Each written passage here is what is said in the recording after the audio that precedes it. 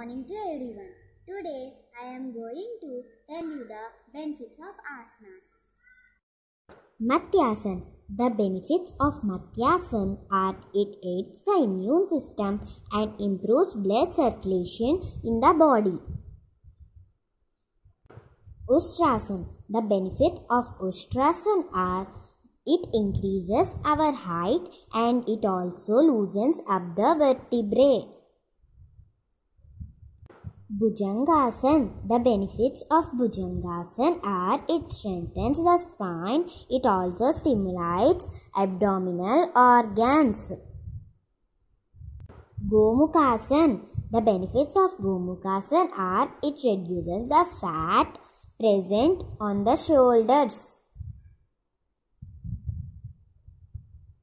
Trikonasan. The benefits of Trikonasan are it increases stability and it also reduces stress.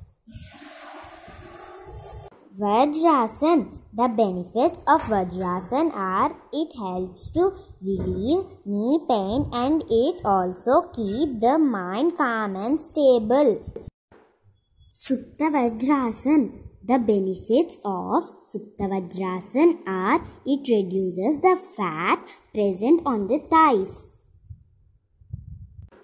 Shashankasan. The benefits of Shashankasan are it releases the stress from the spinal vertebrae.